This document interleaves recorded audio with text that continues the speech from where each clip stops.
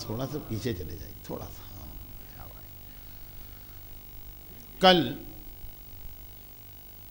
ये गुजारिश की गई थी कि अयाम फ़ातिमिया की ये मजालिस उनवान तारीख़ आलम या तारीख़ इस्लाम की वो अजीम ख़वातीन हैं कि जिनका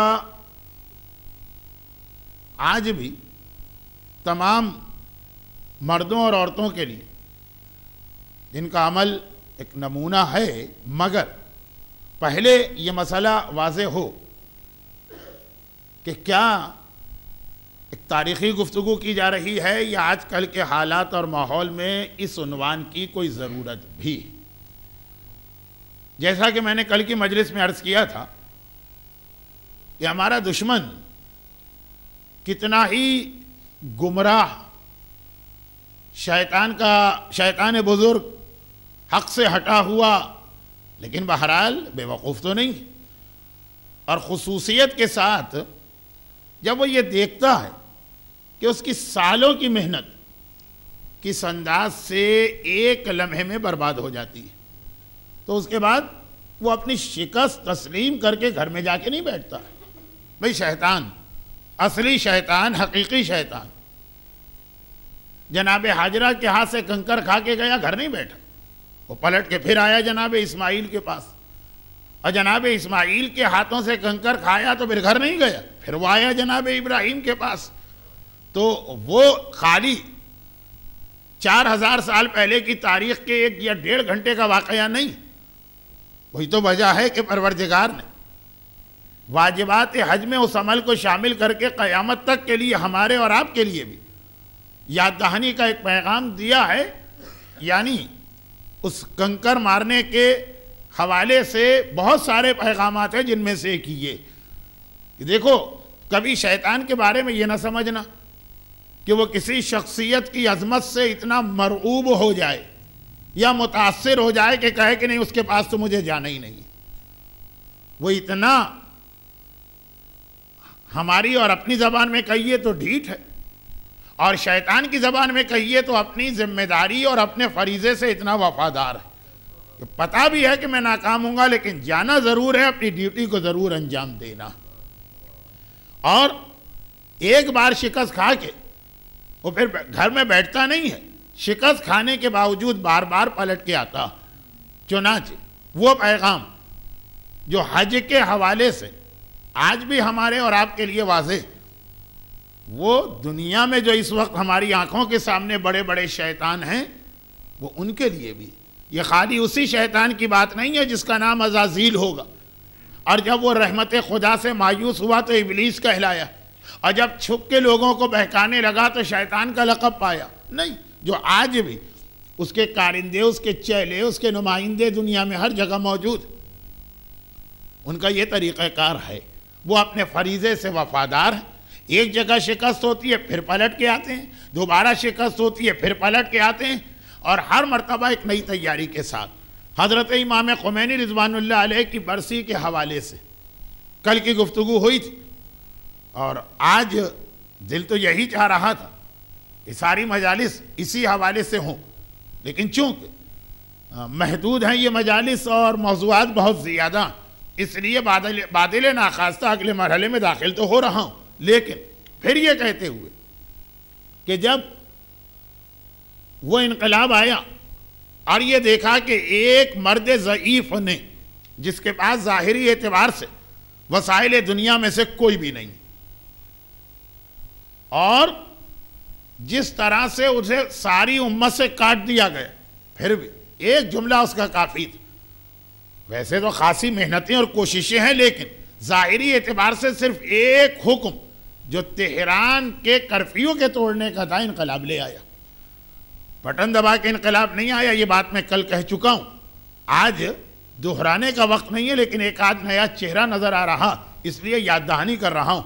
तो अब 25 साल काम हुआ 25 साल। अगर आप हिसाब किताब लगाएँ तो पूरे पूरे 25 साल बनते हैं। अच्छा 25 साल की क्या खसूसियत? दुनिया में बहुत सारे ऐसे इल्म हैं जो बच्चा बच्चा जानता है। फिजिक्स है, केमिस्ट्री है, मैथमेटिक्स है, हिस्ट्री है, पता नहीं कौन कौन से हैं। लेकिन एक इल्म है सोशियोलॉजी। और उस सोशियोलॉजी के इल्म में ये तयशुदा बात कि 25 साल को कहते हैं टर्न ऑफ़ द जनरेशन एक नस्ल ख़त्म होकर बिल्कुल नई नस्ल आने में 25 साल लगते हैं।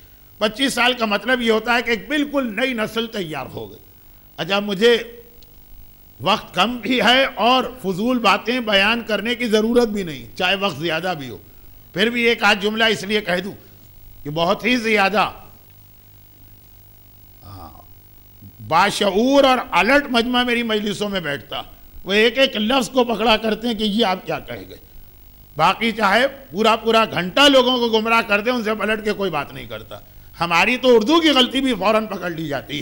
तो इसलिए एक लफ्ज़ कह रहा हूँ कि ठीक है, कुछ सोशियोलॉजी के माहरीन ने 20 साल का है कुछ ने 22 का है लेकिन 25 तो वो हर पे यकीनी है जिसमें सबका इतफाक है कि एक जनरेशन बदल जाती। दुनिया से पुरानी नस्ल ख़त्म। पूरे 25 साल हुए।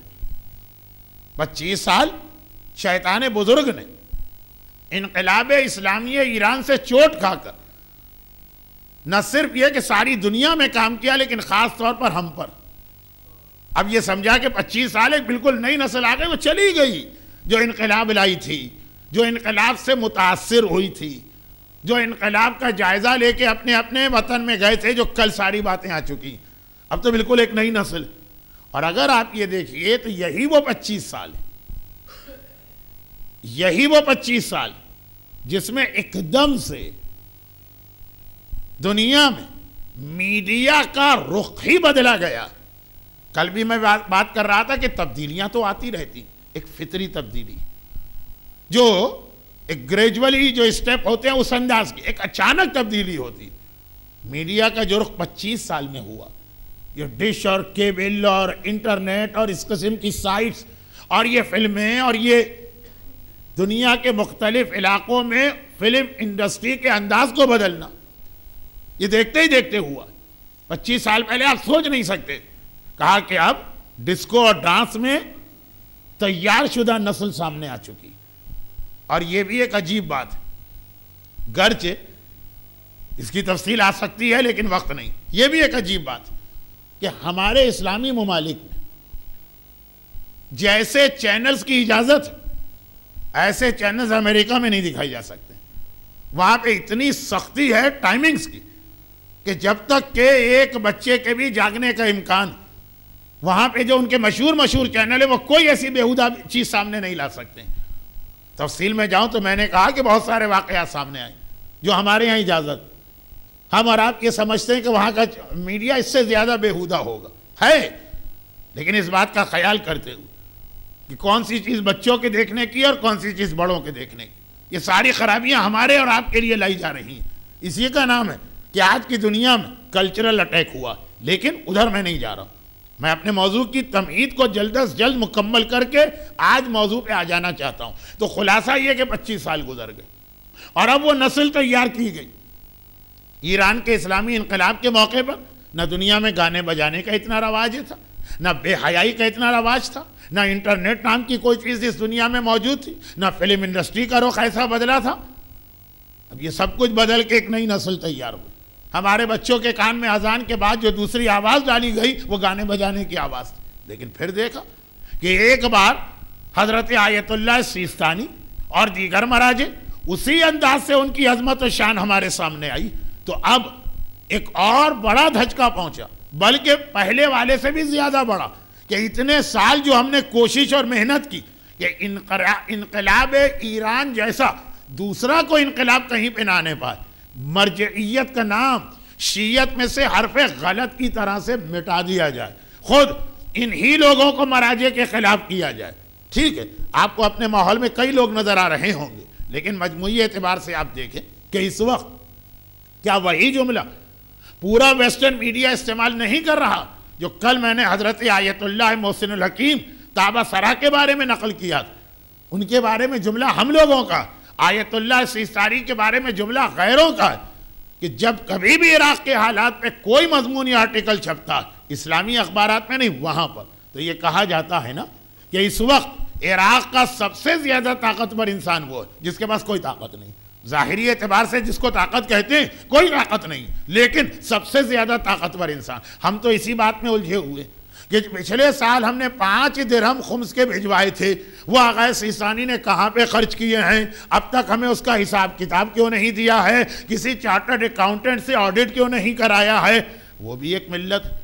जो अपने जवान बच्चों को ला के इनके कदमों में डालती और कहती है कि आप हुक्म दे तो आज इन बच्चों को हम कुर्बान कर देंगे। वो अपने बच्चे और जवान कुर्बान करने को तैयार हैं। हम पाँच पाँच और दस दस दिरहम के। और अजीब बात ये देखी कि एक बहुत बड़ी तादाद तो उन लोगों की, जिन्होंने दिया दिलाया कुछ भी नहीं उनके देने दिलाने से कोई फ़र्क भी नहीं पड़ता मर्जियत पर, लेकिन मैं बात की अर्ज़ कर रहा हूँ। हम इसी में लगे हुए कि एक मर्जे के ऊपर भी एहतिसाब का एक इदारा होना चाहिए, जो एक एक पाई का हिसाब किताब रखे, कहाँ से ये पैसा आया, कहाँ से ये पैसा गया।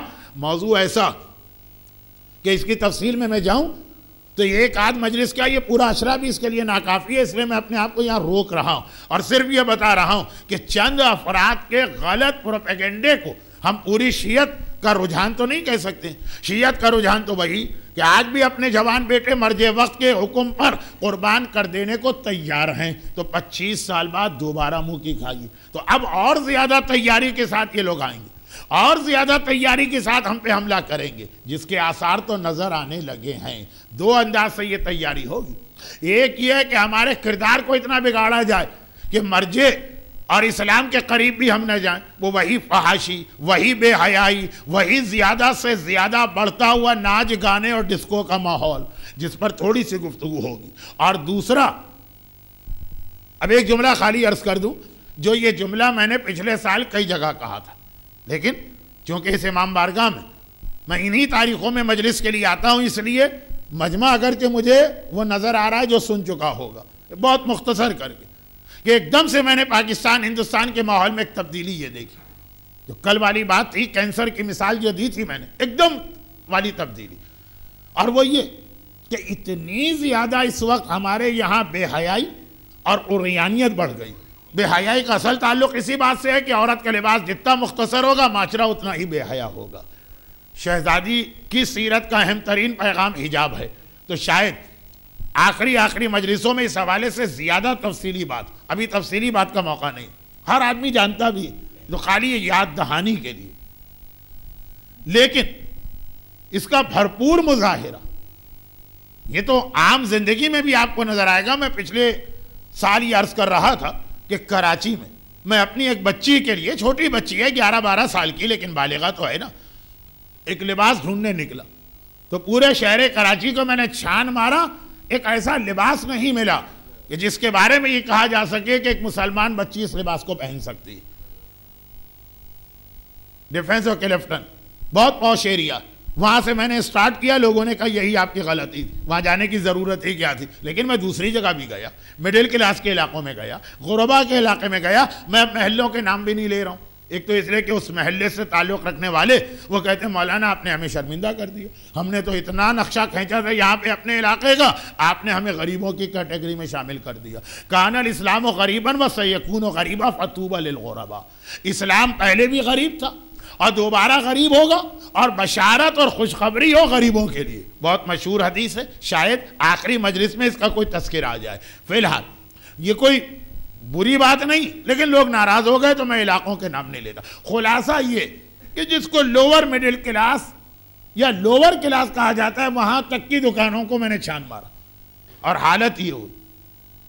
अब मैं इस वक्त इस मिंबर पर बैठकर काफिरों की तारीफ़ नहीं कर रहा हूँ, लेकिन ये बता ही रहा हूँ कि हालत ये हो कि जिस वक्त मैंने दुकानदार से इंतहाई गरीब इलाके बल्कि मैं पाकिस्तान के बाद छोटे शहरों में भी गया जहाँ के बारे में मशहूर है कि छोटे शहरों में ज़रा दीन होता। लिबास के हवाले से वही पाया। इसलिए कि इस वक्त पाकिस्तान हो कि हिंदुस्तान, खाना, पीना, लिबास, अंदाज, लाइफ स्टाइल सिर्फ़ वो बनता है कि जो टेलीविज़न बता रहा, जो चैनल दिखा रहे हैं। जिस तरह जियो हमारे दीन को मार रहा, वो वो जहाँ लिबास है, वहाँ। नतीजा ये निकला कि जब मैंने एक मरतबा झुंझुला के कहा कि एक ऐसा लिबास आपके पास है तो दुकानदार मुझसे कहता, हज़रत, अब कौन से जंगल से आ रहे हैं? चूँकि मैं उस वक्त आम लिबास में था, वो तो कहिए इत्तेफाक से उस वक्त मैं ऑस्ट्रेलिया में रह रहा था। तो मुझे जवाब देने का मौका मिला, वरना वाकान, जो बच्चे कहते ना, वाकान मेरी कच्ची हो जाती, वाकान मुझे शर्मिंदगी होती। जब मैंने ऑस्ट्रेलिया कहा तो वो खामोश हो गए। हालत यह है कि मगरबी दुनिया के लिबास, ना उस माहौल की तारीफ़ हो रही, ना उसके लिबास की तारीफ़ हो रही। जो एक जुमला मैंने शुरू में कह दिया कि बहुत सारी चीज़ें ऐसी हैं जो हमारे लिए लेके आए, मुसीबतें अपने आज भी ख्याल किया गया। मगरबी दुनिया के लिबास मसलन टी शर्ट और जीन्स ज़रा सी अगर वो लूज हो, वो ज़्यादा बेहतर नज़र आती है उन लिबास से कि जो इस वक्त पाकिस्तान के अंदर हमारी बच्चियों के लिए राइज। मैं उस लिबास को प्रोमोट नहीं कर रहा हूँ। सिर्फ़ ये अर्ज़ कर रहा हूँ कि वो लिबास बाद ज़्यादा इस्लामी लगता। ये जो मुसीबत और माहौल हमारे यहाँ बन के रह गया, उसी का नतीजा। आगे सुनिए, आगे।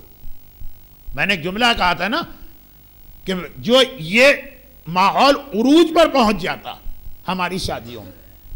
हमारी शादियों में। ये तो एक आम माहौल की बात है, आम दिनों की बात है। जो आम लिबास है, उसकी ये बात। तो शादी बिया बहुत, इस वक्त वो जुमला है। सिर्फ़ मैं तकरीबन आँखों देखी एक बात बता रहा हूँ। आँखों से खुद तो मैंने नहीं देखा। और आप अंदाज़ा भी कर लेंगे कि मुझे दिखाया भी नहीं जा सकता। ऐसी जगह मुझे कदम ही नहीं रखने दिया जा सकता।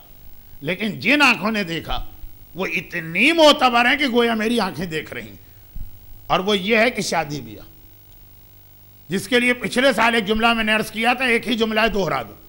आजकल की दुनिया पैकेज की तलाश में सहूलत आसानी बहुत हो जाती वही सारे काम जो पहले इंसान अलग अलग करता था, अब कहता कौन इस झंझट में पड़े? जेब में आजकल पैसे ज़्यादा आ गए तो लोग हर चीज़ में पैकेज ढूंढते हैं। जैसे हज और उम्रे पे लोग जाते हैं। पहले वीज़ा खुद लीजिए, एयरलाइन का टिकट खुद बुक कराइए, मक्के मदीने में जाके अपना मकान खुद तलाश कीजिए, वहाँ की जियारतों के लिए गाइड का इंतज़ाम खुद कीजिए। आजकल पैकेज सिस्टम आ गया, आपको कुछ नहीं करना। ये चार्जेस हैं, ये दीजिए और बस। इस एयरपोर्ट से लेके वापस इस एयरपोर्ट आने तक आपको कहीं कोई जहमत नहीं उठाना, सारा काम होता चला जाएगा वो ज़िम्मेदारी पैकेज कंपनी बर्दाश्त कर लेगी हज में भी है, उम्रे में भी है, जियारतों के लिए भी। और दुनिया के जो आम सैर व तफरी के ट्रिप हैं, वो तो वहीं गर्मी का मौसम है, आजकल अखबार में आप देख रहे होंगे, डिज्नीलैंड का पैकेज आ रहा होगा, स्विट्जरलैंड का आ रहा होगा, और मुख्तलिफ़ इलाकों का। शादी भी पहले यह था कि हर इंतज़ाम खुद हम लोगों को दौड़ धूप करना पड़ती थी। तो डेकोरेशन वाले के पीछे घूम रहे हैं और हॉल वाले के पीछे घूम रहे हैं और प्रेस कार्ड छपवाने वाले हैं पैकेज सिस्टम पेमेंट कीजिए और सब काम हो गए। और हर चीज़ में अमेरिका तो एक कदम आगे होता है ना। ये फ्लोरिडा का वाकया। वहाँ के इस्लामिक सेंटर में एक मोमिन आए, डॉक्टर थे। और आने के बाद उन्होंने कहा कि मेरी माँ का इंतकाल हो गया। और चूँकि मेरी सीट बुक थी, मुझे घूमने के लिए जाना है कैलिफ़ोर्निया। तो वो तो अब कैंसिल नहीं हो सकती है, इसलिए कि पैकेज वाली सीटें आमतौर पर उसमें तब्दीली नहीं की जा सकती। मैं तो जा रहा हूँ। ये मैं एड्रेस दे रहा हूँ, मेरी माँ वहाँ पे आई, ये क्रेडिट कार्ड नंबर है, आप मैयत उठा के उनको दफन कर दीजिए। अभी तो इमाम बाड़े वाले पहले इसी जुमले पे हैरान थे। और अगला जुमला ये था और मैं पूरा पैकेज चाहता हूँ। पैकेज मैयत के हवाले से का पूरा पैकेज यानी सुना है कि कुरान वुरान पढ़ा जाता है, मजलिस वगैरह की जाती है, वो सब आप शामिल करके जितना बिल बनेगा, ये मेरा क्रेडिट कार्ड नंबर है, इससे आप चार्ज कर लीजिएगा। अब मैयत के लिए भी पैकेज होने लगे जिसमें मजलिस भी शामिल है, जिसमें कुरान खानी भी शामिल है। तो अब ये तो हो गए पैकेजेस की दुनिया। लेकिन शैतान भी तो बहुत ज़्यादा इसमें इंटरेस्टेड है। भाई, पैकेज में काम क्यों ना किया जाए, बजाय इसके कि अलग अलग अलग जहमत उठाई जाए। जैसे हम क्यों पैकेज की तरफ़ जाते हैं कि अलग अलग जहमत क्यों सारी चीज़ें एक ही जगह मिल जाए, हमने खाली पेमेंट कर दिया, हज कंपनी ने सारा काम करके दिया। शैतान सोचता है, ये मोमिनों के पीछे इतना लगता हूँ। कभी किसी औरत को बेहिजाबी का पैगाम देता हूँ, और कभी किसी बच्ची को डांस करने की तरफ़ ले जाता हूँ, और कभी किसी जवान को डिस्को की जानब लेके जाता हूँ। अब ये अलग अलग गुनाह में इतनी जहमत, उसने भी गुनाहों का एक पैकेज बना के हमारे माशरे को दे दिया, कि भाई अलग अलग गुनाह करने की ज़रूरत नहीं। सारे के सारे गुनाह एक साथ एक ही जगह तुमको मिल जाएँगे। तुम्हारे लिए भी आसानी कि कहाँ अलग अलग गुनाह करने जाओगे। और शैतान के लिए भी आसानी। और उस पैकेज का नाम है आजकल की हमारी शादियाँ। आजकल की हमारी शादियाँ क्या? अलग अलग जो बड़े बड़े गुनाह थे, गुनाहान कबीरा। गुनाहान कबीरा सारे शैतान ने छांटे। और सबको लाके एक जगह पे जमा कर दिया, उसका नाम हो गया मोमिन और मोमिना की शादी। घर इसमें पूरा माहौल इन्वॉल्व लेकिन हमें दूसरों से क्या ताल्लुक? उन्होंने तो कभी भी नहीं कहा कि सीरत सैदा हमारे लिए हिदायत का रास्ता। जिन्होंने कहा, मैं नाम उनका ले रहा हूँ। वरना ऐसा नहीं है कि हिंदुस्तान और पाकिस्तान में खाली मोमिनी कराम ही का मसला। हिंदू काफिर होंगे, वो भी इसी तरीके से शादियाँ कर रहे होंगे। लेकिन जो चीज़ कभी सोची नहीं जा सकती कि एक शरीफ सैदानी और कभी वो मजमा आम के सामने डांस करे, मगर शादी ब्याह के नाम पे उसकी इजाज़त उसको खुद भी बाद में अगर कहा जाए, कभी तैयार नहीं होगी। लेकिन भाई की शादी, भाई की शादी में ये पागल और दीवानी हो रही है, मेहंदी हो नहीं सकती जब तक कि उसकी बहनें ना नाची। और ऐसे ऐसे शरीफ घराने, और ऐसे ऐसे लोग जो जब तक के अपने नाम के साथ उन इमाम मासूम का नाम इस्तेमाल न करें, जिनकी ये औलाद है। मैं इससे ज़्यादा कहना नहीं चाहता, लेकिन लेकिन ये जो एक मसला है हमारा और आपका है। हम मिडिल क्लास के लोग बल्कि शायद लोअर मिडिल क्लास अब यही सिलसिला जब आगे बढ़ा तो कराची की वो शादी भी हुई। और माशाल्लाह बड़े धूमधाम के साथ, लेकिन बड़े दीनदार घराने। यूँ आप देखिए तो काफ़ी दीनदार घराना है, मशहूर भी है, खुद भी, उनके बुज़ुर्ग भी। मैं ज़्यादा तफसील में नहीं जाना चाहता। और कराची की बात बड़ी बड़ी मस्जिदें बनी ही उनके डोनेशन से और आज भी आप लोगों से पूछे लेकिन बाकी सारी बातें छोड़िए, वक्त नहीं है, घड़ी की सुइयाँ बहुत तेज़ी से आगे बढ़ रही हैं। खुलासा ये कि उस शादी के अंदर, शादी के अंदर जो तकरीब हुई थी, रुखसती की, बाकायदा डांसर्स जो बुलवाई गई थी मुजरा करने के लिए वो दुबई से थी। अच्छा ये तो एक आम सी बात है कि शादी की शॉपिंग लोग यहाँ के करते हैं। शॉपिंग तक तो समझ में आता। लेकिन वो जो पूरा ताइफा गया था, वो यहाँ से गया था। चले ये तो एक मरहला। दूसरा मरहला कि उस वक्त जो रिफ्रेशमेंट सर्व किए जा रहे थे। चाय भी थी कॉफ़ी भी थी कोक और पेप्सी भी थी, मुख्तलिफ़ जूस भी थी।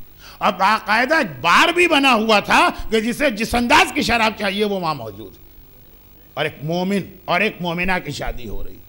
वो शादी हो जाए, बाद में कहीं किसी होटल वोटल में जाके शराब पिला दें, वो अलग बात। ये कराची के, हमारे और आपके माहौल के एक शख्स के यहाँ की बात और पता चला कि बहुत तेज़ी के साथ ये रुझान बढ़ता चला जा रहा। गुनाहों का पैकेज मैंने इसलिए कहा। तो एक तो ये तरीका जो लोग बाद में आए हैं वो शायद न समझ पाए हो कि मैंने बात कहाँ से की। कि ये जो दो अजीम मराजे हमारे ज़माने और इतने इस अंदाज से कौम शिया या अहल बैत के मानने वालों की अकीदतें और मोहब्बतें नज़र आई उनके लिए। तो अब उन, हमको और उनको दूर करने के लिए। एक तरफ़ तो ये सिलसिला। कि किरदार इतना बिगाड़ दिया जाए कि आदमी फिर इसलिए मर्जे का नाम सुनने को तैयार ना हो। कि बहरहाल वहाँ से तो फतवा आ जाएगा, ये हराम, ये अमल जायज़ नहीं। पूछने वालों ने पूछ भी लिया। यानी ये तो ऐसा है कि आपसे पूछे तो ये इतना फतवा तो आप भी दे सकते हैं। तो अब ये खला, अब ये नागवार गुजरा। अब आप समझ गए होंगे अंदाज से कि इस अंदाज की शादी करने वाला कोई गरीब या मुतवसित तबके का तो है नहीं। बड़े लोगों के पास वैसे ही तकबर से ज़्यादा खला, नागवार गुजर। अरे, क्या मर्जे का फतवा लाए? खुद ये मर्जे क्या करते हैं? अगर हमने शराब पी तो ये कौम का पैसा खुम्स के नाम पे खा जाते हैं। ये वो साजिश का दूसरा अंदाज था। ऐसा प्रोपेगेंडा करो, ऐसा प्रोपेगेंडा करो, ऐसा प्रोपेगेंडा करो। अब 25 साल तक भी हुआ काम, का उससे काम नहीं चला। 25 साल में हम नाकाम हो गए, वरना इस अंदाज से हमको नज़र ना आता। अब इससे भी ज़्यादा। बदनाम करो और इनकी मुखालिफत पे लोगों को तैयार करो। लेकिन लेकिन, खाली अब मरजैत की बात नहीं हो, ये तो हमारा और आपका मसला बना। इससे बढ़ के एक तीसरा मरहला था। और ये भी बहुत अजीब बात थी। बाकायदा मैं एक पर्चे पे लिख के आदाद शुमार भी लाया था, लेकिन मेरा अंदाज़ा था कि आठ बज के पैंतीस मिनट पर मैं इस टॉपिक पे आ जाऊँगा। पता चला कि इस वक्त आठ पचपन हो रहे हैं। तो ऑलरेडी मैं बीस मिनट लेट हूँ, इसलिए पर्चे से पढ़ के आपको जहमत नहीं देता हूँ, लेकिन उसका खुलासा। और वो ये कि इतना प्रोपेगेंडा हो रहा है कि हमारे बच्चे और जवान, हमारी औरतियाँ, औरतें और बच्चियाँ, हमारे आम लोग, जिनका ये मसला ही नहीं है कि जी हम शराब पीते हैं तो क्यों? क्या हरज है? वो भी तो मसलन खुम्स का माल हड़प कर हड़प कर जाते हैं। ये हमारा मसला नहीं, हम शराब नहीं पीते हैं। मगर वो भी इस प्रोपेगेंडे में बह गए। और दूसरी तरफ़ दूसरी तरफ़ हालत ये कि खुद जो ताकतें ये सारा माहौल बना रही हैं। किरदार बिगाड़ने का और मरजैत को बदनाम करने का। खुद वो ताकतें कोई ज़रूरत है मुझे किसी का नाम लेने की? नहीं। मजमा सब जानता है कि कौन है इसके पीछे। है कोई माशूक इस पर्दा जंगारी में। तो जो इसके पीछे, खुद उनके इलाकों में। इतना ज़्यादा इन्हीं हालात की वजह से इस्लाम, कुरान, मरजैयत और शीयत इतना ज़्यादा इसका चर्चा हो रहा और इस कसीर तादाद में लोग इस्लाम के करीब आ रहे हैं। एक होता है इस्लाम कबूल करना, वो भी बहुत बड़ी तादाद। और एक होता है कि इस्लाम को समझ जाना, वो तो एक इतनी बड़ी तादाद। अगर आप पिछले चार साल में जाके पूछें कि सबसे ज़्यादा कौन सी किताब फरोख्त हुई है, मगरबी दुनिया में तो वो कुरान है। कुरान देखिए, बाकायदा हमारे यहाँ तहरीक तरसील कुरान के नाम से। न्यूयॉर्क का अपना इदारा, उनसे जाके पूछी। वो उन्नीस सौ बहत्तर से गालिबा काम कर रहे हैं, चौंतीस साल। कह रहे हैं कि 28 साल में हम इतना काम ना कर सके, जितने चार साल में हमारे जितने वसाइल जवाब दे गए हम इन लोगों को कुरान नहीं दे पा रहे हैं, जो लोगों की डिमांड है हमें कुरान पढ़ना। और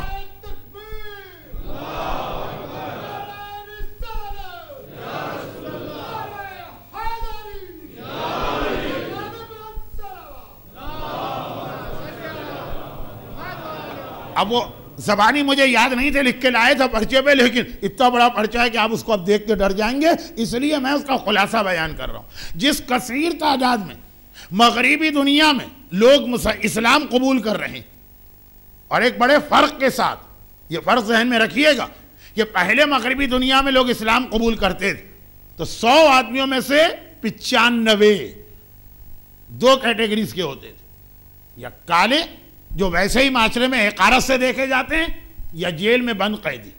भाई, ये दो गुरु होते थे, कहीं कहीं सौ में पाँच, छह ऐसे होते थे, जो इन दो कैटेगरी से हट के इस्लाम कबूल करते थे। और अब जो गुजशत चंद सालों में इस्लाम कबूल करने की, ये तो नहीं कह सकता हूँ कि एक लहर आई है, लेकिन अच्छी खासी तादाद। इंग्लैंड में कितने लोगों ने, जर्मनी में कितने लोगों ने, फ्रांस में कितने लोगों ने और अमेरिका में कितने लोगों ने इस्लाम कबूल किया। उनकी अक्सरियत ना कालों के कैटेगरी में आती है ना, कैदियों की और जेल वालों की कैटेगरी में आती है। बीबीसी के डायरेक्टर का बेटा जैसी मिसालें हमारे सामने आ रही हैं तो वो और परेशान हो रहे कि ये क्या हुआ? हम उन्हें बहका रहे हैं और इधर हो ये रहा कि हमारे यहाँ, हमारे अपने बच्चे और जवान, एक बार इतना कहा गया, इस्लाम इस्लाम इस्लाम, फोबिया बना दिया गया, खौफजदा कर दिया गया, कि दिल में ख्याल आया कि देखें तो सही है क्या? और जब ये देखा इस्लाम क्या तो खुद ब खुद दिल में कशिश और मोहब्बत पैदा हुई। और इस हवाले से, इस हवाले से वहाँ पे प्रोपेगेंडा और बढ़ गया। लेकिन वो वाला जज्बाती प्रोपेगेंडा नहीं, कि जी ये टेररिस्ट है। ये उनको खुद भी मालूम है कि जज्बाती बात है। एक आम मजमे को हम बहका के ले जाएँगे, लेकिन समझदार आदमी इसकी गहराई में उतरेगा। तो उसके लिए इस्लाम पे इल्मी हमले हुए। और ख़ास तौर पर, ये जुमला यहाँ से मेरा अनुमान शुरू होना था। डेढ़ दिन के बाद, लेकिन कल की मजलिस तो। हज़रत इमाम खुमैनी का हक बनती थी, इसलिए मैंने पूरा बयान उनका किया। आज की मजलिस में आधे घंटे के बाद। तो जब इल्मी अंदाज से इस्लाम पे हमले होते हैं तो अब इस्लाम में क्या चीज़ की कमी है कि कोई इस्लाम पे अटैक करे? वही चंद घिसे पिटे चौदह सौ साल पुराने एतराज़ात आज उन्हें झाड़ पहुँच के नए अंदाज और नए सिरे से बयान किया गया, जिसमें टॉप ऑफ़ द लिस्ट सारे पेरिस जो चीज़ आती है वो ये है कि इस्लाम में औरत का कोई स्टेटस ही नहीं। इस्लाम औरत को पर इतनी अहमियत देता है जितना एक पालतू जानवर को अहमियत दी जाती है। और ये जुमला, मुसलमान बच्चियाँ, मुसलमान औरतें जियो टेलीविज़न के टॉक शो में कहती नज़र आती हैं। कहीं और नहीं, हमारे अपने यहाँ से, आया बाहर से है। कि जी इस्लाम में औरत का क्या स्टेटस ऐसे ही समझा जाता है जैसे किसी के घर में कोई जानवर पला हुआ। उसके बारे में जो कहा इसके भाई, इसे रोटी दे दो, इसकी फीडिंग का इंतज़ाम कर दो, इसको खाना दे दो, खत्म बात। लेकिन देखना ये कि जो इतना ज़्यादा ये प्रोपेगेंडा हो गया, और उसमें भी वही चार पाँच चीज़ें घूम फिर कर। हमने कहा, कैसे आपको पता चला कि जी इस्लाम औरत को बराबर का रुतबा तो छोड़े? इंसान भी नहीं समझ रहा। जानवर की तरह से समझ रहा। वही तीन चार बातें आपके जहन में खुद ही फेरिस्त आ गई। तलाक। मर्द को हक है, तलाक, औरत को हक नहीं। अच्छा दूसरी बात है कि इस्लाम की तलाक किसी ने समझी ही नहीं। न सिर्फ़ ये कि लोग ये समझे कि जरा सा नमक तेज हो गया, पराठा ठंडा हो गया, खाना सही ना था, तलाक तलाक तलाक कहा? तो तलाक हो गई। बल्कि पाकिस्तान टेलीविज़न के एक ऐसे प्रोग्राम में इस माह मुबारक रमज़ान की पहली तारीख को, एक विकी मसला मैंने सुना। मैंने कहा, अगर ऐसे मसले आएँगे तो यकीनन दुनिया मज़ाक उड़ाएगी। मसला ये बता रहे हैं वो साहब मसला किसी ने तलाक का ही पूछा था। मसला बताते बताते कहा कि अच्छा है, वो साहब बता रहे ये जो मसले, मसाइल आने लगे टेलीविज़न पर, ये खुद एक बहुत बड़ी साजिश इसके खुद बहुत फ़ायदे वाला तो कोई पहलू नज़र नहीं आया, नुकसान ही वाले पहलू हैं। लेकिन बाकी बातें छोड़ें। मसला सुनिए आप। शायद आपको भी मज़ा आ जाए। वैसे तो बहुत ज़्यादा आप संजीदा बैठे हैं। और वो ये कि मसला तलाक का बयान करते करते उन्होंने कहा, और तलाक ये इस तरह से हो जाती है कि एक नसीहत मैं करता हूँ। अब वो नसीहत सुन लीजिए। वो नसीहत यह है कि कभी आपके यहाँ बेटा पैदा, उसका नाम तारिक नहीं रखिएगा। अच्छा होगा इस नाम की कोई खराबी होगी, नाम अच्छे बुरे। अभी मैं शारजा में मजलिस पढ़ के आ रहा हूँ, काफ़ी लोग वहाँ के यहाँ नज़र आ रहे तो चीज़ नहीं दोहरा रहा हूँ कि नाम की क्या अहमियत लेकिन अब जो वो तफसील बताते हैं कि क्यों ना रखिएगा।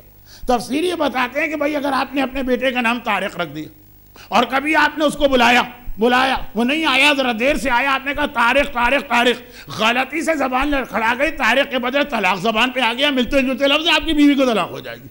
आप अपने बेटे को बुला रहे हैं। तीन बार आपने कहा तारिक मियाँ, इधर आना। और जबान पे आ गया, तलाक मियाँ। गलती से स्लिप ऑफ़ टंग लफ्जिश लिसानी, तलाक हो गई। आपको पता भी नहीं चलेगा। और पूरा हरामकारी का आपका ज़माना गुजरेगा। बहरहाल, इस अंदाज से अगर कहा जाएगा तो खैर तो क्या एतराज़ करेंगे? पहला एतराज़ तो हम लोग करेंगे। हम हंसेंगे। ये इस्लाम। लेकिन जो उस अंदाज से बात हो रही, अभी उधर से बात, ये तो कहने का मौका नहीं है टाइम ही नहीं है कि ये दुश्मन को ये हथियार भी हमने दिए इस किस्म की अहमकाना बातें करके। वो किसी छोटी सी मस्जिद के अंदर बैठ के छोटे से मजमे में नहीं कह रहे हैं। वो उस टेलीविज़न की स्क्रीन पे कह रहे हैं, जिसका ये कहना है कि इस वक्त 150 मुल्कों से ज़्यादा में हमारा प्रोग्राम देखा जा रहा है और ये प्रोग्राम दिखाया जा रहा है। लेकिन एक तलाक का मसला, एक मीरास का मसला, एक गवाही का मसला, यही तीन चार बातें तो हैं जो घुमा फिरा के ये साबित की जाती और फिर उसमें एक चीज़ और बढ़ा दी जाती और वो ये कि भाई, अगर इस्लाम औरत की ज़रा से भी इज़्ज़त होती तो कोई नबी, कोई इमाम, कोई मर्जे कभी किसी औरत को नहीं बनाया गया। ये भी एक एतराज़ जो तलाक, मीरास, गवाही, वो सारे मसले अपनी जगह उसके साथ, ये भी एक एतराज़। अब यहाँ पे रोकिए। जैसा मैंने कहा कि अगर वो तलाक के मसले से हमारा मज़ाक उड़ाएँगे तो हम ये भी देखेंगे कि हमारे यहाँ से भी कितने लोग ऐसे हैं जो उन्हें ये मौका दे रहे हैं ऐसी बातें करने, करके, जिसका इस्लाम से कोई ताल्लुक ही नहीं है। तो अब यहाँ पे रुकिए। और रुकने के बाद इससे पहले कि हम दुश्मन को जवाब दें और इससे पहले कि हम अपने लोगों को बताएँ इस्लाम का एक और मसला समझ लीजिए जो बाहिर तो हमारे मौजू से हटकर लेकिन उसका खुलासा ही हमारा मौजू निकलेगा। वो ये कि इतकू मवाजत तो हूँ कल मैंने एक बात कही थी और मैं अक्सर एक गुजारिश करता हूँ कल कर, ये गुजारिश मुझे कल ही कर देना चाहिए थी। लेकिन खैर अब जो कल वाले लोग आज नहीं आए और नहीं आए तो ऐसे नहीं आए कि अब आएँगे भी नहीं, लेकिन आज वाले जो लोग हैं, उनके लिए। कि अगर वो नहीं आए तो ये बात लेके सुन के जाए वो कि सिलसिले मजालिस में उमूमन ये होता। कि अगर एक बात एक दिन आती है, नामुकम्मल अधूरी तो दूसरे या तीसरे या चौथे दिन उसकी वजाहत होती है। पहले दोनों इससे सुन लें, उसके बाद फिर जाके कोई एतराज़ करे। अभी आप समझ जाएँगे कि जुमला मैंने कल की किस बात के हवाले से कहा। इस्लाम कहता कि बहुत सारी चीज़ें ऐसी हैं जो इस्लाम में हराम नहीं। जायज़ हलाल है, आप कर सकते हैं। लेकिन अगर वो जायज़ और हलाल चीज़ करने से भी आप पे तोहमत लग सकती है तो अपने आप को तोहमत की जगहों से बचाओ। इतकू मवाजत तो हम ये जुमला आजकल बहुत चलने लगा, इसलिए मैं कह रहा हूँ। क्या चलने लगा जुमला? भाई, हम कोई हराम काम तो नहीं कर रहे हैं। नहीं, अगर ऐसी जगह पे खड़े हो कि हराम तो नहीं कर रहे हो तो मत लग सकती अक्सर या बड़ी तादाद में महाराजे इस इतकू को वाकान वजूब के मानों में लेते हैं। वाजिब है अपने आप को बचाना, वरना एहतियात तो तकरीर सारे महाराजे के नज़दीक, ऐसी जगहों से अपने आप को बचाओ, जहाँ पे तुम पे तोहमत लग सकती और इतना बड़ा ये मसला, इतना बड़ा मसला, कहा कि अगर तोहमत लगने का इम्कान है तो अपने आप को बचाओ। और उसके बाद भी अगर इम्कान है कि तोहमत लग जाएगी।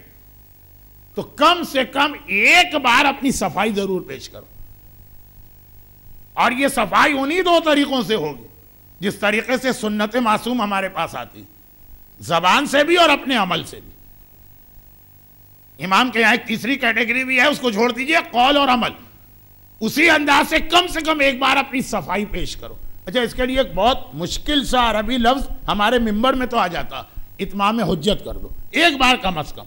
अगर एक बार भी सफ़ाई पेश नहीं की और फिर तुम पे तोहमत लगी तो थोड़ा सा तुम्हारा भी हिस्सा कयामत के दिन करार पाएगा।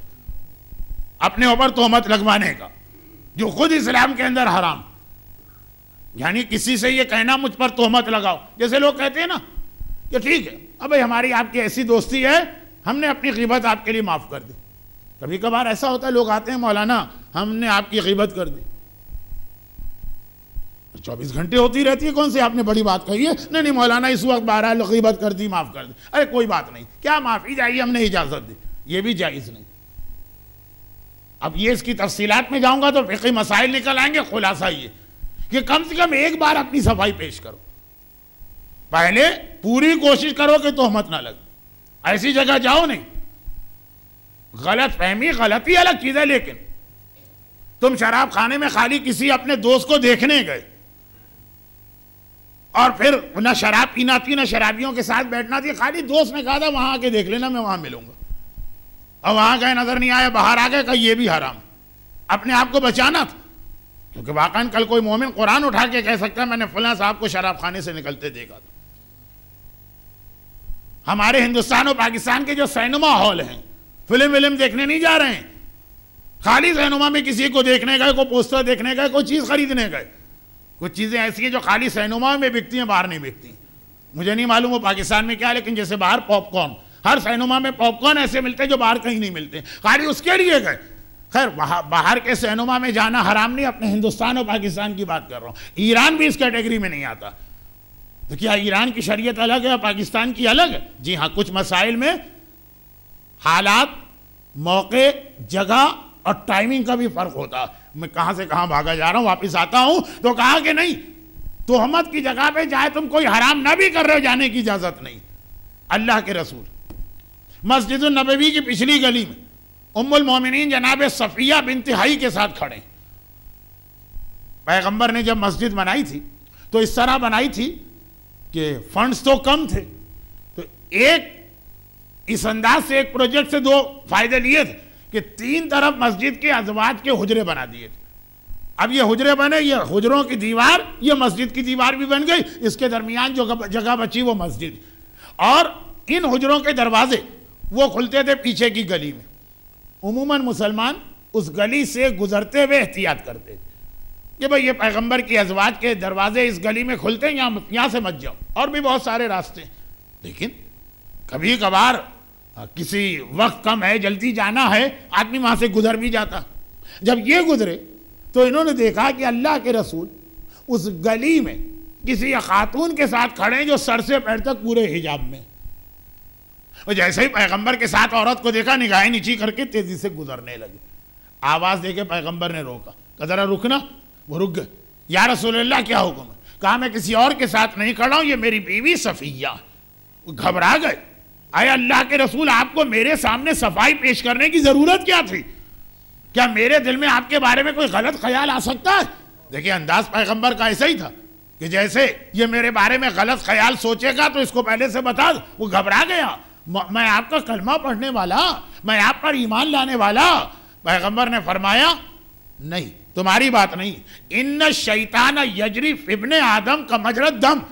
तुम्हारे कंट्रोल में भी नहीं, तुम चाहे कितनी ही अच्छी नीयत के साथ निकलो। शैतान आदम के बेटों में इस तरह से जिसम में गर्दिश करता, का मजरत दम, जैसे खून तुम्हारी रगों में गर्दिश करता है, कि तुम्हारा कंट्रोल भी नहीं है खून के ऊपर। देखिए, हर जगह खून खुद ही पहुँचा जा रहा बदगुमानियाँ, वसवसे, तोहमतें, बुरे ख्याल खुद ब खुद आते हैं। आदमी चाहे समझ भी रहा हो, आदमी चाहे नियत करके बैठा हो, फुला के बारे में नहीं सोचना। रसूल तक के बारे में सोच सकता। इसलिए पैगंबर ने एक उसूल बताया वजाहत की जबान से।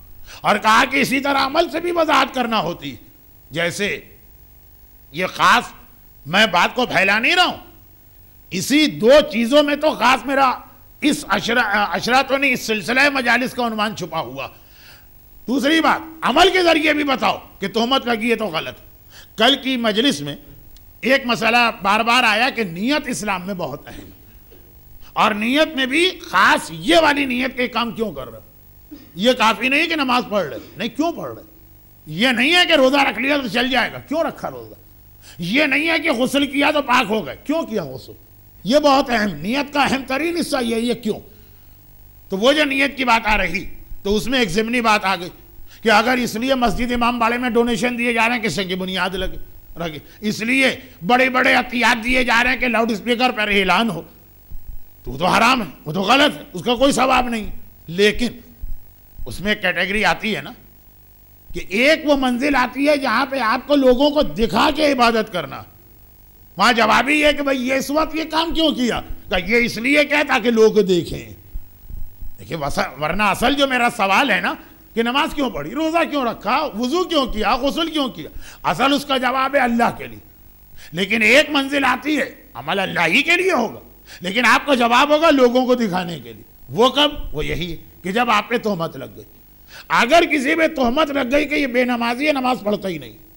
तो आपको ये नहीं, आप कहें कि जहन्नम में जाए लोग। मेरा लोगों से क्या ताल्लुक? कयामत के दिन तो अल्लाह को पता है कि मैंने नमाजें पढ़ी है। नहीं, कम से कम एक नमाज़ तो लोगों को दिखा के पढ़ो। पढ़ी जाएगी वो भी अल्लाह के लिए। लेकिन ये वाली नमाज़ इस तरह से पढ़ी जाएगी, लोग आ जाएँ, लोग देख लें। लोगों को पता चले कि मैं बेनमाजी नहीं। और ख़ास तौर पर उस वक्त ये मसला बहुत होता था। अब तो खैर माहौल ऐसा बदल गया कि जब लोग नमाज़ जनाजा नहीं पढ़ा करते थे ऐसे आदमी के लिए, जिसने ज़िंदगी में कभी नमाज़ ना पढ़ी यानी लोगों ने ना देखा शहादत नामे पे दस्तखत करते हुए लोग घबराया करते थे। शहादत नामा जो मुर्दे के कफन में रखा जाता। वह पहुँचे वहाँ पे, गसल मैयत, हो रहा है। मैं रिजविया सोसाइटी का रहने वाला सुबह शाम मैयत मैयत आती किसी भी नमाज़ के लिए आप जाएँगे, कोई रोक लेगा? और कहेगा कि भाई वो एक मैयत है, हम शहादत नामा तैयार कर रहे हैं, आप भी साइन कर दीजिए। जानते तो हैं साहब को हम। हम यही कहे कि साइन नहीं करते, कि जानते हैं, इसलिए हम साइन नहीं कर सकते। हमने ज़िंदगी में इनको कभी नमाज़ पढ़ते नहीं देखा। ये बात सही है कि गलत, वो एक अलग बात है। लेकिन मैं कह रहा हूँ, उस वक्त तो बाकायदा एक माहौल था। कि लोग ऐसे आदमी के शहादत नामे में दस्तखत नहीं करते थे। लोग ऐसे आदमी के जनाजे की नमाज़ में शरीक नहीं होते थे, जिसने कभी नमाज़ ना पढ़ी। तो हम मसलन एक नमाज़ तो ज़रूर दिखाई। लोगों ने कहा भाई, ईद के दिन तो हमने इनको देखा था एक मरतबा। एक बार एक ईद ऐसी थी जिसमें नज़र आ गए थे। तो फिर शहादत नामे पे हमने कहा ये कलम, अभी दस्तखत करते हैं। तो खुलासा ये कि वैसे एक सीरियस मसला दिखा के। और एक आदमी डोनेशन देता है हथियात देता है बहुत कार्य खैर में हिस्सा लेता है, लेकिन तोहमत लग गई कि कंजूस और बहुत ज़्यादा, यानी बकीर लईम, सबसे खतरनाक कैटेगरी कहा कि ऐसा आदमी, कम अज कम एक डोनेशन इस तरह से दो, कम से कम। हो सकता है इससे ज़्यादा भी दे सकते हो, ताकि ये तोहमत तुम्हारे ऊपर से दूर, ये है अमल के ज़रिए से, वो है कॉल के ज़रिए से, रोका रसूल। अच्छा यहाँ पर क्या करूँ? बात से बात तो निकलती जाती और मैं बात से बात निकालना नहीं चाहता हूँ। बाद में एतराज़ ना हो, इसलिए सिर्फ़ एक छोटी सी बात और आपको याद दिला ये बात हो रही है जिसपे तोहमत लग रही है। इस्लाम जो है ना, हर एक की जिम्मेदारियाँ अलग अलग बताता। जो बीवी का मसला है, वो शोहर का नहीं है, शोहर का मसला है, वो बीवी का नहीं। हमारा सबसे बड़ा प्रॉब्लम ये कि जब कोई हदीस, जब कोई मसला आता, हम ये नहीं देखते इसमें हमारा वाला हिस्सा क्या हम देखते सामने वाला हिस्सा क्या और उसके एतबार से एतराज़ शुरू करते हैं। यही वजह? कि आज तक वालदेन को वो हदीसें याद है कि औलाद को किस तरह हमारी खिदमत करना। भाई, दो तरह की हदीसें आई। एक औलाद के लिए आई है जिसमें उसको बताया तुम्हें किस तरह वालदेन की खिदमत करना। एक वालदेन के लिए आई है जिसमें बताया तुम्हें किस तरह औलाद की तरबियत करना। वालदेन अपनी वाली हदीस नहीं सुनते हैं, वालदेन सामने वाली हदीस सुनते हैं। अगर तुमने इस शादी में मुजरा ना कराया तो मैं दूध ना बख्शूँगी। और जन्नत तुम्हारी मेरे पैरों के नीचे, तुमको जन्नत से महरूम कर दूँगी। ये सारी हदीसें उस वक्त ये भी तो देखो तुमसे क्या कहा जा रहा। तो ये बहुत अहम मसला है जो हमारे यहाँ लोग भूल जाते हैं। पूरी तकरीर, मैं अभी अभी इसी अयाम अज़ा में, इमाम मार्गा अली रज़ा में करके गया हूँ। उसको दोहरा भी सकता हूँ, लेकिन वक्त नहीं। तो खुलासा ये कि ये जो बात कही जा रही है, जिस पे तोहमत लगे उससे कहा जा रहा है। लेकिन आम माशरे के लिए उल्टा हुक्म है। वो ये कि तुम किसी को सौ फ़ीसद ऐसी जगह पे देखो, जहाँ पे हराम ही होता है, लेकिन एक परसेंट भी इम्कान है कि शायद वो फेरे हराम के लिए नहीं आया। तो तुम हमेशा हम लो फेलिल मुस्लिम अलसेहा मोमिन के बारे में अच्छा गुमान रखो, और यही समझो कि शायद उसने ये काम नहीं किया। हत्या यहाँ तक एक रिवायत आई है, यहाँ तक एक रिवायत, जिसे शेख मुर्तदा अंसारी, जिनका मैंने कल ज़िक्र किया, किताब रसाइल में नकल करते हैं। और वो ये कि तुम गुजरे मोमिन के पास से। तुमने देखा कि उसके मुँह से शराब की बदबू आ रही है। तब भी उसके बारे में गुमान ना करो कि उसने शराब पी इस्लामी अदालत में तो खैर इससे सजा मिलती ही नहीं है। या किसी को तुमने देखा कि वो उल्टी कर रहा है कै कर रहा है वोमिटिंग कर रहा है जिसमें शराब निकल रही है। वो शराब बदन में गई है, तभी तो निकल रही है। मगर जब तक इम्कान मौजूद है, उसके बारे में हुसन जन से काम लो। अच्छा गुमान करो, ये हमारी ज़िम्मेदारी। शायद शायद इस बेचारे को पता ही ना होगा कि शराब है, इसने पी ली बाद में पता चला, उल्टी कर रहा। शायद खाली इसने शराब मुँह में लेके कुल्ली करके फेंक दी। सुना है कि कुछ बीमारियों का इलाज शराब है? मैंने पहले भी कहा, बीमारियों के हवाले से मेरी किसी बात को ना सुनिए, खासतौर पर इस बात को तो सुनिए ही नहीं। लोगों ने कहा कि इन्फेक्शन के लिए बेहतरीन इलाज शराब है। होगा बहरहाल। लेकिन ये दुनिया के इन्फेक्शन को छोड़ो, जहन्नम के इन्फेक्शन का क्या करोगे, जहाँ सांप भी काटेगा और बिच्छू भी काटेंगे। लेकिन हो सकता है इसने खाली कुल्ली करके फेंक दी। मुँह में लियो, खौफ खुदा आया और शराब फेंक दियो इसने। तो अब ये सिर्फ़ एक पहलू, कि हमारे और आपके लिए मसला अलग है। हम हमेशा अच्छा गुमान करें। खुद उस आदमी की ज़िम्मेदारी है, कोई ऐसा काम ना करो। और अगर एक तोहमत लग जाए तो कॉल से भी मना करो, जबान से भी और अमल से भी, औरतों के हवाले से। मुसलमानों पे यकीनन तोहमत लगी है। हकीकत नहीं है, तोहमत कहते हैं उसको। हकीकत यह है कि औरतों का जो स्टेटस इस्लाम ने बताया, दुनिया के किसी मज़हब ने नहीं बताया। मगर एक तोहमत लग गई हम पर। और इतनी बड़ी तोहमत जो एक, दो, चार, पाँच आदमी पे नहीं लगी, पूरे इस्लाम पे लगी। ये जो तोहमत वाला मसाला है ना इसके बारे में, जब एक रावी ने पूछा था, मौला, आप ये बार बार तोहमत वाले गुनाह को क्यों बता रहे क्या इससे फ़र्क क्या पड़ता है? अगर कोई तोहमत रखती है तो लगे। फरमाया इज़्ज़त रसूल जमिया। अल्लाह के लिए, रसूल के लिए, साहिबान ईमान के लिए है। तो अल्लाह ने उनको इज़्ज़त दी है। उनकी ज़िम्मेदारी अपनी इज़्ज़त को बचा के रखें। ये भी अल्लाह की नेमत का शुक्र है। कुफरान नेमत। उसमें खाली ये नहीं आता है कि रोटी ज़मीन पे गिर पड़ी तो आपने फ़ौरन उठा के चूमा। वो भी अच्छा काम। मगर अल्लाह ने साहिबान ईमान को इज़्ज़त दी और कोई ऐसा काम ना करे कि अपनी इज़्ज़त अपने हाथ से तबाह करे। एक आम मोमिन की इज़्ज़त तो इतनी अहम चीज़ है तो पूरे इस्लाम की इज़्ज़त। आज इस्लाम पे सबसे बड़ी तोहमत ही आ रही, चुनाचे ज़रूरी कि जिस तरह एक आम से मुसलमान पे तोहमत लगे, वो जबान से भी उसका जवाब दे और वो अमल से भी। उसी तरह अगर इस्लाम पे तोहमत लग रही है, आपको ये तोहमत दूर करना। और दो तरीके हैं इसको दूर करने के। जबान से भी और अमल से भी। अमल से कैसे दूर? अमल से ऐसे दूर कि वाकान जो इस्लाम ने औरत को इज़्ज़त और एहतराम दिया, वाकान जो इस्लाम ने औरत को स्टेटस दिया, वो हमारे घरों में नज़र आना चाहिए।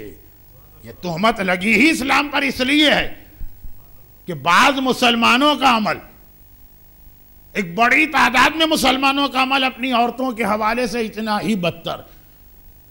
अगर हर समझदार आदमी जानता है कि इस्लाम अलग है, मुसलमान अलग है, लेकिन आम मीडिया तो देखेगा, उनको तो यही दिखाया जाएगा ना कि सिंध और पंजाब के देहातों में, यूपी और बिहार के छोटे छोटे शहरों में मुसलमान अपनी औरतों को कैसा ट्रीट करते हैं? तो अब एक तो वैसे ही वो वाजिब काम है। जो औरत को इस्लाम ने जो हुकूक दिए वो उसको दिए जाए। एक तो वैसे ही वाजिब है। लेकिन अब क्योंकि इसकी वजह से आज के इस दौर में इस्लाम पे इल्ज़ाम आ रहा है, मैं एक जुमला और इसमें बढ़ा दू। डेढ़ सौ साल पहले ये नहीं था। डेढ़ सौ साल पहले अगर आप अपनी बीवी को मारते थे, अपनी बेटी को हकारत से देखते थे, घर की औरतों को पाँव की जूती समझते थे, उन्हें ज़यीफ़ुल अकल कहते थे, उनकी अकल को उनकी एड़ी में तलाश करते थे, बजाय सर के तो फिर भी चल जाता। क्यों भाई, डेढ़ सौ साल पहले क्यों चल जाता? हराम तो वो भी था। लेकिन इसलिए जल जाता कि दुनिया के तमाम मजाहिब में दुनिया के तमाम इलाकों में औरत के साथ इससे भी बदतर सुलूक किया जा रहा था। इस्लाम ने तो बड़ी इज़्ज़त दी थी, लेकिन ये जो आज औरतों के इतने हमदर्द बन बन के हमारे सामने आ रहे हैं, सिर्फ़ डेढ़ सौ साल पहले जाके देखिए, इनके यहाँ औरत की क्या 1920 गालिबन। पर्चा कहाँ चला गया? 1920 में गालिबन। पहली मरतबा यूरोप और अमेरिका में औरत को वोट देने का हक मिला, जिसको अभी सौ साल भी नहीं हुए। इससे पहले कहा जाता था वोट नहीं देगी, क्यों नहीं देगी? भाई सवाल क्यों? कहा, इसकी अकल कामिल नहीं। इसकी अकल ना पुख्ता तो उस वक्त औरतें, दो औरतें मिलकर एक मर्द के बराबर गवाही बनेगी। ये इसलिए चल जाता था मसाला। चलेगा तो आज भी, मैं तोहमत के हवाले से कह रहा हूँ। कि उस वक्त कम अज कम कम अज कम इस मसाले से यही तो इल्ज़ाम लगेगा ना कि मुसलमान औरत को आधा समझता है। तुम तो औरत को बिल्कुल नहीं समझती तुम तो कहते हो वोट ही नहीं दे सकती। ये भी नहीं कहते औरतों के वोट जमा होंगे और जितने वोट निकलेंगे, हज़ार निकले तो पाँच सौ माने जाएँगे। ये भी नहीं। डेढ़ सौ साल पहले औरत के साथ बुरा सलूक एक मोमिन का इनफरादी गुना होता था। क्योंकि बाकी सारी दुनिया बल्कि सौ साल पहले हिंदू माशरे में। चार हज़ार साल पुरानी बात नहीं कर रहा, सौ साल पहले। ईसाई माशरे में, यहूदी माशरे में, मगरबी दुनिया में। बुद्ध मज़हब में, क्या औरत का स्टेटस था? लेकिन आज ये मसला इसलिए बढ़ गया कि अब जिस वक्त हम अपनी औरत के साथ बुरा सलूक कर रहे हैं तो एक इनफरादी गुना भी हो रहा, कयामत के दिन जो तुमको जवाब देना। और साथ में इस्लाम पर भी तो हमत लग रही, जहाँ पहले ही सारे लोग कैमरा लेके खड़े कोई एक मुसलमान औरत ऐसी नज़र आ जाए, जो ये कंप्लेन करे कि मेरे साथ बुरा सलूक हुआ, और फ़ौरन इसको रिकॉर्डिंग करके सारी दुनिया में उसको दिखा देंगे। उस वक्त अब डबल ज़िम्मेदारी हो गई आज तोहमत के जवाब के लिए। दिल नहीं मानता जो आदमी सारी ज़िंदगी अल्लाह की इबादत छुप के करता, उसका दिल नहीं मानेगा लोगों के सामने नमाज़ पढ़ने का। जमात नमाज़ के अलावा की बात हो रही। मगर ये ज़िम्मेदारी बन गई उसी अंदाज से। डोनेशन जो आदमी हमेशा छुपा के देने का आदि, उसको सबसे ज़्यादा तकलीफ़ इस बात से होगी अगर उसका नाम माइक पर अनाउंस हो जाए। हैं ऐसे लोग, बिल्कुल पसंद नहीं करते, लेकिन कभी लाजिम हो जाता। उसी अंदाज से। औरत की इज़्ज़त जो इस्लाम ने वाजिबात की हद तक बताई, वो तो आपको वैसे ही देना। जो वाजिबात के अलावा है, वो भी देना पड़ेगी, अपने अमल के ज़रिए से। वाकन मुसलमान घरों का माहौल इतना अच्छा हो, इतना बेहतरीन। छोटी सी बात कर रहा हूँ। मसलन, एक शोहर को एक हक है कि बाद हालात में अपनी बीवी को तलाक दे सकता। ये तो वाजिबात की हद तक बात होगी तलाक देने का नहीं इस्तेमाल कर रही हक। हत्तल इम्कान। वैसे तो हर आदमी हर छोटी सी बात पे एक चार्जशीट लेके खड़ा होता है, बीवी शोहर के खिलाफ, शोहर बीवी के खिलाफ। लेकिन इज़्ज़त इस्लाम को बचाने के लिए। हद इम्कान, जितना हो सके औरत को इज़्ज़त दी जाए। ये हुआ कौल, ये हुआ अमल के ज़रिए से। और दूसरा कौल के ज़रिए से। नबी, इमाम, मर्ज़ी औरत नहीं बनी। मगर इस्लाम के पास औरतों के हवाले से, अजमत के ऐसे ऐसे नमूने जिन्हें कुरान ने नकल किया, जिन्हें इमाम ने नकल किया, जिन्हें सीरत रसूल में हमने देखा, बहुत सरसरी बात करके कल से तफसील पे आता हूँ, क्या करूँ? जो सोच रहा था, वो भी आज के दिन न कह सका। माँ के हवाले से। हर आदमी को मालूम। और बस यहाँ वो मंजिल आती है, यहाँ पे अब कोई इल्ज़ाम नहीं लगा सकता। कि माँ के हवाले से जो इज़्ज़त और एहतराम इस्लाम ने माँ का दिया, दुनिया के किसी मज़हब के पास ये तस्वुर नहीं। और बेटी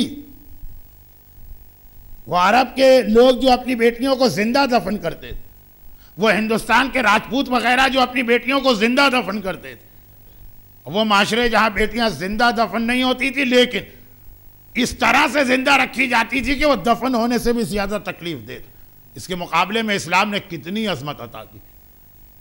कुरान करीम की आयत में बाक़यात उस सालहात की तशरी इमाम मासूम ने बेटी की।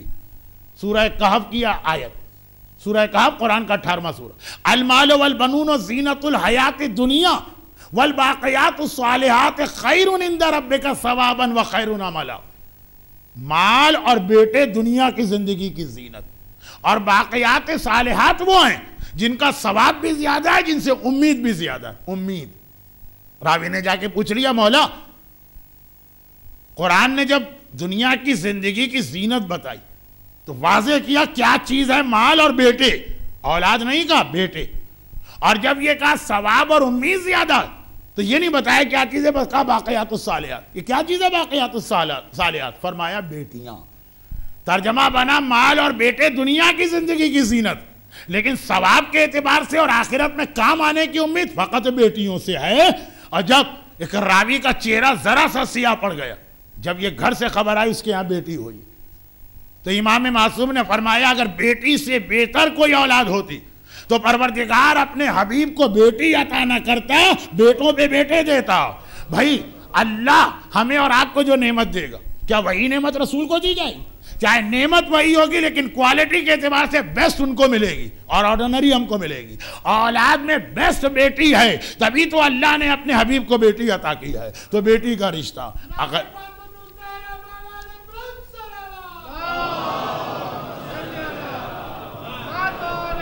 अगरचे, बेटी के हवाले से भी हम कुछ ना कुछ जानते हैं। ठीक है, हमारे घर में बेटी हो जाए, सबसे पहले हम ही नाराज़ होते हैं, लेकिन जानते हैं कि इस्लाम, बहन। बहन के हवाले से, भाई, औरत की ज़िंदगी के मुख्तलिफ़ हो। इस्लाम ने माँ, मैं देखिए तो सिर्फ़ चार मिनट में ये बात पूरी हो रही है, जो मुझे पंद्रह मिनट में पूरी करना था। माँ, बहन, बेटी। इस हवाले से बहन, करबला का पूरा जिहाद किस अंदाज से? किस अंदाज से जैनब कुबरा पे आ रहा? और किस तरह से इमाम ज़माना की खैबत सुगरा में पहली नियाबत जनाब हकीमा खातून को मिली है जो दसवें इमाम की बहन? और किस तरह से इमाम रजा की बहन फातिमा कुमिया बहन के हवाले से? हाँ एक मुश्किल मरहला आता है बीवी का। ये बड़ी अजीब बात।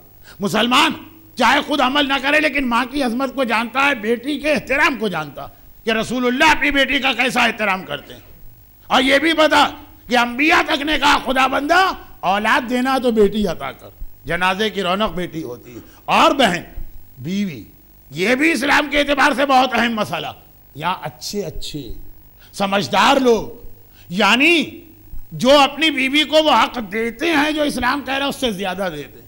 मगर यहाँ ना जानने को तैयार है, ना मानने को, कि इस्लाम में बीवी का रिश्ता भी कितना अहम बनाया गया। हर आदमी घबराता है, जरा बीवी की बात कर दी जन मुरीद का लकब मिल जाएगा। जरा सा बीवी के हक में कोई बात कह दी तो जोरू के गुलाम करार पाएँगे। शादी से पहले जिस तरह दोस्तों के पास उठते बैठते थे, अगर जरा कमी हो गई तो कितने रिकॉर्ड लगा करेंगे हमारे, हमारी गैर मौजूदगी में। तो माँ, बहन और बेटी और बीवी, इस्लाम ने चारों रिश्ते बहुत अहम बताए। बीवी के हवाले से हमारे अच्छे खासे लोग, समझदार लोग, चाहे इतनी बीवी से अकीदत तो मोहब्बत है कि उसकी हद से ज़्यादा खिदमत का दिल चाहता। मगर कह नहीं पाते, लोगों के सामने ज़ाहिर नहीं कर पाते कि कहीं ऐसा ना हो कि ये इल्ज़ाम लग जाए। जन मुरीद या जोरू का गुलाम किसको कहा है रसूल ने? अल्फाज बदल के कहा तो है, जिसकी बीवी घर से बेहिजाब निकल रही है और साथ साथ चला जा रहा है। सही मानों में अगर कोई है तो ये है जोरू का गुलाम। लेकिन लेकिन अगर बीवी से मोहब्बत है, बीवी से अकीदत है, बीवी का हक अदा किया जा रहा, बाहर से आई है तो खानदान में उसको बराबरी का एहतराम दिया जा रहा, ये नहीं है कोई खराबी। हाँ थोड़ा ये है कि बीवी भी फिर वैसी बने। अब अंदाज़ा करें, एक जुमला मैं कह रहा हूँ। और बस, आज की हद तक और माजरत के बहुत मुख्तसर मसाहब के जुमले रहेंगे, लेकिन बात खत्म हो गई। लेकिन पहले एक बात कह। एक जुमला मैं कह रहा हूँ तारीख मासूमीन में यह जुमला हमें दो बार नज़र आया। दो बार। दूसरी बार का जुमला हर एक को याद है। और समझ में भी आता। पहली बार का भी एक जुमला मगर शायद लोग भी कहें कि भाई मौला के मुँह से ही अच्छा नहीं लग रहा। जुमला है अल आन इनका सारा जाहरी। हाय, आज मेरी कमर टूट गई। ये जुमला दूसरी बार करबला में हमने सुना। जब अब्बास ने कहा आका मेरा आखिरी सलाम लीजिए। हुसैन ने टूटी हुई कमर को संभाल के कहा अब्बास अलान इनका सारा जहरी। अरे मेरी कमर टूट गई। लेकिन आजादारों पहली बार ये जुमला किसने कहा? पहली बार ये जुमला मौलाए कायनात ने कहा। का, किसके लिए कहा? फातिमा के लिए कहा। फातिमा के लिए कहा। लेकिन कब कहा? जब तारीखी शब में एक कब्र तैयार कर दी फातिमा जहरा की कब्र तैयार करके मेरा मौला एक मरतबा आसमान को देखता है और कहता है, अलान, इनका सारा जहरी। अरे आज फातिमा दुनिया से क्या गई? अली जैसे मुश्किल कुशा की कमर टूट गई। देखिए, अजीब जात है फातिमा की। अगर अली ने फातिमा की कब्र को देखा तो फरियाद की, मेरी कमर टूटी। और अगर हुसैन ने माँ की मैयत को कफन में देखा तो हाथों के प्याले में माँ का चेहरा लिया, कहा, वाह गुरबता, अम्मा, तेरा बेटा गरीबुल वतन हो गया। अरे तू ना रही, हुसैन अकेला रह गया, हुसैन गरीबुल वतन हो अला वलानतुल्लामजमाइन परवरदिगारा, तुझे वास्ता उसी बीबी का जो मुश्किल कुशा के लिए मुश्किल कुशा थी, जो मोमिन और मोमिनत आज की मजलिस में इन्हें हराफत व परेशानी से महफूज फरमा, इनकी सारी हाजतें पूरी फरमा। परवरदिगारा, हमारे तमाम मरहुमीन की मकफरत फरमा और इन मजालिम के इंतकाम के लिए जहूर इमाम में ताजील फरमा। मातम मातम से पहले एक ऐलान समाप्त फरमा लीजिए। यहाँ पर मज़ा